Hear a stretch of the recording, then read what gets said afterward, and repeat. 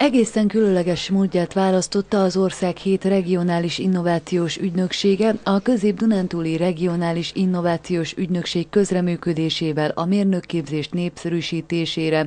A kultúra nyelvén szólítják meg ugyanis a fiatalokat. Hat másik régióban már volt bemutató, és hát nagyon pozitívak a visszajelzések. Mindenképpen kérjük is a, a nézőket, hogy osszák meg velünk a tapasztalataikat, hogy hogy érezték magukat, milyen volt, mire volt jó nekik egyértelműen pozitívak a tapasztalatok.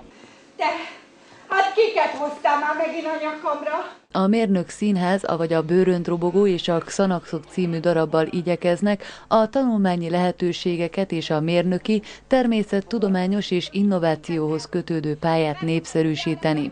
A darab rendezője Jordán Tamás Kossuth Díjas színművész.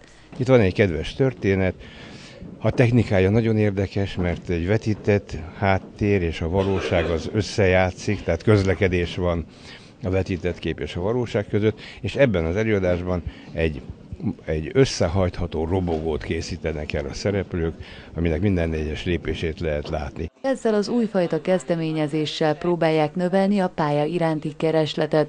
Székesfehérváron ezeknek a képzéseknek pedig nagy jelentőségük van. A mi városunknak, akár ha felsőoktatásról is beszélünk, akkor a mérnökképzés az egy abszolút hosszú távú jövőképe lehet, hogy egy humán terület, hogy főként a színház, az általam is oly nagyon szeretett színház fontosnak tartja és kitalálta azt, hogy ezen az úton, ezen a módon is megpróbáljon egy kicsit propagandát nyújtani a mérnöki pályának, hát ez pedig szerintem különösen izgalmas. Mintegy száz középiskolás diákot invitáltak a Mérnök Színház regionális bemutatójára. A darab nagy népszerűségre tett szert a körükben. Mindenképpen jó dolognak tartom, mert én sem vagyok az a típus, aki úgymond szakbarbár szeretne lenni, tehát én is azért szeretek írni, szeretek fogalmazni, de úgy gondolom, hogy a megélhetést azt a természettudományos tantárgyok biztosítanak, tehát valamilyen mérnöki szak.